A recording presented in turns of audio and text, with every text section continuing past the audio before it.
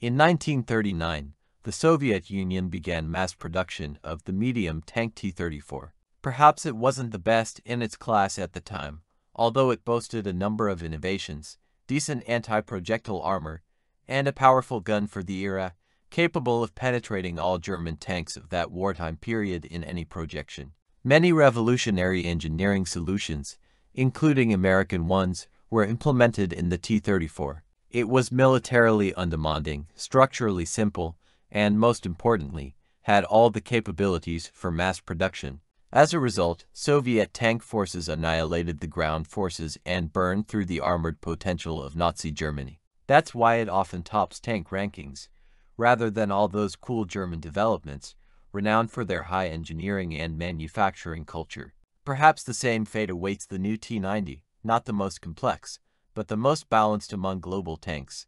And this fact surely was kept in mind by the current Kremlin leader, wrote recently in his blog a well-known Western expert in armored vehicles, Kris Osborn from the USA. This message was part of a larger discussion sparked by statements from several Russian officials that the T-90 meters is currently the best tank in mass production. Many didn't quite fancy Osborn's statement. For example, his frequent opponent, competitor, and colleague in a number of publications on armored vehicles in popular outlets like Forbes.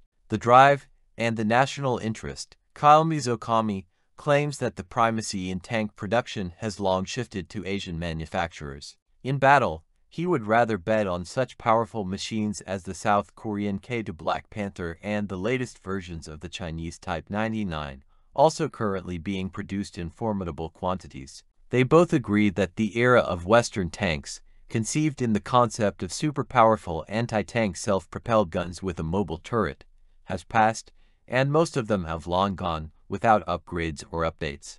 Due to the producer's sacred belief in their technological sophistication and invulnerability. Or rather, because no one seriously dares to fight the West, and the time of tanks as the primary combat vehicles of any ground forces has irreversibly flown by.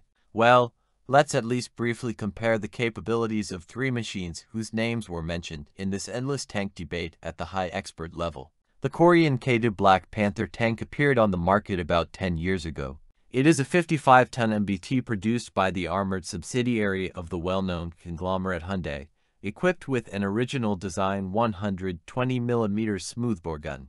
The tank was developed over 11 years, taking into account the Soviet experience in tank building. South Korea once acquired T-80 tanks from the Russian Federation, and, as with Russian missiles for SAMs, in studying the acquisition, it adopted some experience. The latest upgrades of the Black Panther feature a 1500 horsepower diesel engine.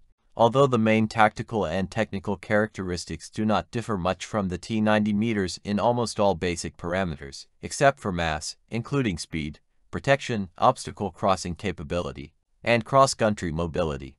Additional armament includes ACMs and to machine guns. The active protection system is not widely used yet, some researchers consider the K2 to be the only fourth-generation tank in mass production, thanks to its high-tech information management system. But this is more of a serious advertising exaggeration. The only foreign beer is Poland, which announced plans to build more than 800 units on its own territory. It has not participated in combat operations. All conclusions about its merits have been drawn from exercises and computer modeling. The Chinese Type 99 tank, like the Russian T-90, is a continuation of the Soviet T-70 to tank concept but differs radically from it, much like the new T-90 meters. The most advanced version is the Type 99A2, featuring built-in active protection, the latest information management system, digital sights, and control systems. Its main caliber is a creatively borrowed without a licensed Soviet gun originating from Sverdlovsk, the 2A46M. Honestly, it's also a kind of T-90, in its Chinese embodiment and with their high level of development in digital devices. It hasn't been exported, although there have been inquiries from various countries for the tank. What surprises the most is the quantity in which they produce it. Our tank manufacturers have barely caught up to them now, when some plants have essentially switched to mobilization tracks. In total, the PLA has over 500 Type 99A and about 100 Type 99A tanks in service.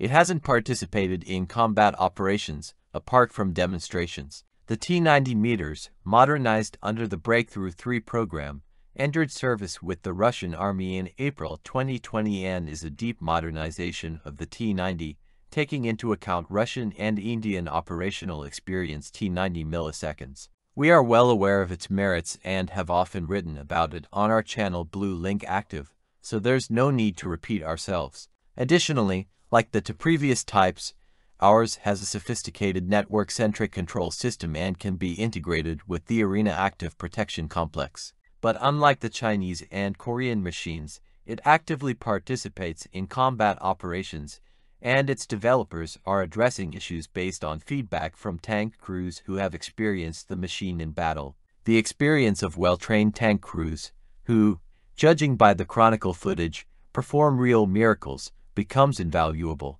The T-90 meters in the troops generally receives good reviews, not only in television reports but also in private conversations and from the enemy's side. And that's worth a lot. Also, the fact that the T-90 itself is the best-selling main battle tank of the 21st century is significant.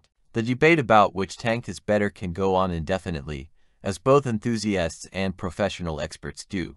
It's interesting that lately, the focus of these debates is shifting from Western Leopards and Abrams, whose high reputation, to put it mildly, has not always corresponded to their true combat capabilities, closer to the east, where tanks and much more are already being done no worse.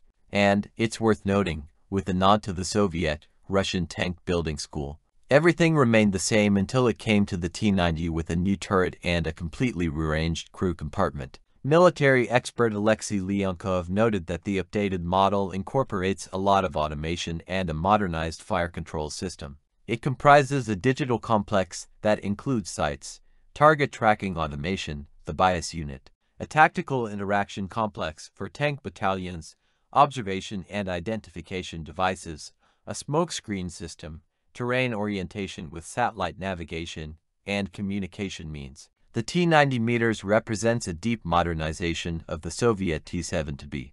The tank differs from other models not only in appearance but also in functional equipment. It boasts a new 2A46 M5 gun model 125mm, with a shooting accuracy 15 to 20% higher compared to other models and nearly twice as accurate while shooting on the move. The combat range has also increased. The T90 meters features an automatic transmission system with the option to switch to manual mode. The tank's speed reaches up to 70 kilometers per hour, with a range of up to 550 kilometers on the highway.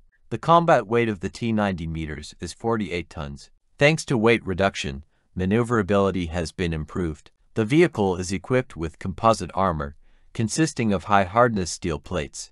The tank is outfitted with third-generation dynamic protection modules Relikt, providing a high degree of protection against shape charges and subcaliber ammunition.